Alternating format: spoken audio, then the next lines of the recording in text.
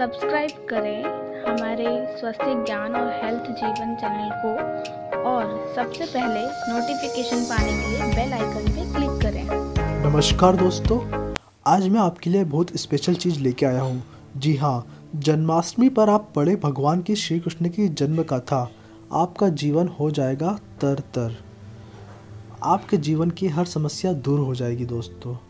भाद्रप्रत कृष्णाष्टमी को श्री कृष्ण जन्माष्टमी कहते हैं, क्योंकि यह दिन भगवान श्री कृष्ण का जन्म दिवस माना जाता है।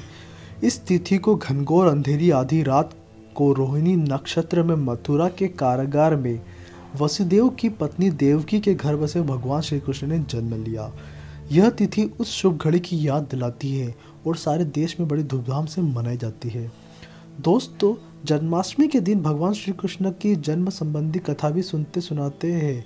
जो इस प्रकार है। द्वापर युग में भोजवंशी राजा उग्रसेन मथुरा में राज्य करता था। उसके आततीय पुत्र कंस ने उसे गद्दी से उतार दिया और सव्य मथुरा का राजा बन बैठा। कंस की एक बेन बहन देवकी थी, जिसका विवाह वसुदेव नामक यदुवंशी सरदार से हुआ था।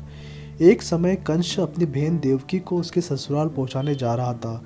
रास्ते में आकाशवाणी हुई, हे कंस जिस देवकी को तू बड़े प्रेम से ले जा रहा है, उसी में तेरा काल बसता है।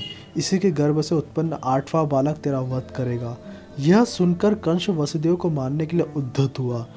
तब देवकी ने उससे विनयपूर्वक कहा, मेरे गर्भ में जो संतान होगी, उसे मैं तुम्हारे सामने ला दूँगी। बहुनोई को मारने से क्या लाभ है? कंस ने देवकी की बात मान ली और मथुरा वापस चला गया। उसने वसुदेव और देवकी को कारागृह में डाल दिया। वसुदेव देवकी की एक एक करके सात बच्चे हुए और सातों को जन्म लेते ही कंस ने मार डाला।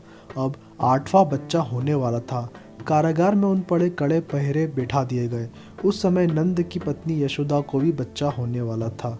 उन्होंने वसुदेव देवकी के दुखी जीवन को देख के आठवें बच्चे की रक्षा का उपाय रचा। जिस समय वसुदेव देवकी की पुत्र पैदा हुआ, उसी समय संयोग से यशोदा के गर्भ से कन्या का जन्म हुआ, जो और कुछ नहीं, सिर्फ़ माया थी। जिस कोठरी में देवकी वसुदेव के थे, उसमें अचानक प्रकाश हुआ और उनके सामने चतुर्भुज भगवान प्रकट हुए। दोनों भगवान के चरणों में गिर पड़े। तब भगवान ने उनसे कहा, अब मैं पुनः नवजात शिशु का रूप धारण कर लेता हूँ।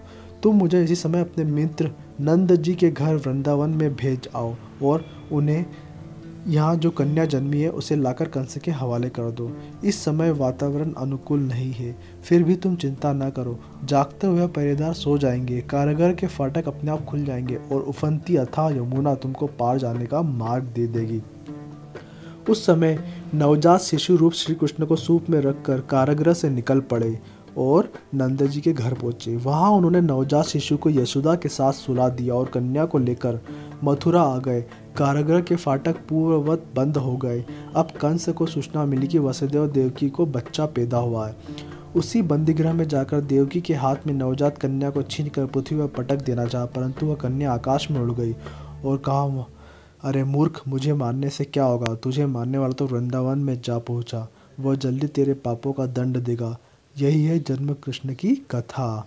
तो दोस्तों, मैं आशा करता हूँ आपको ये कथा अच्छी लगी होगी तो हमारे चैनल को सब्सक्राइब करना ना भूलें। इस कथा को ज़्यादा से ज़्यादा शेयर कीजिए कमेंट कीजिए, अगर अच्छा लगा है, धन्यवाद दोस्तों।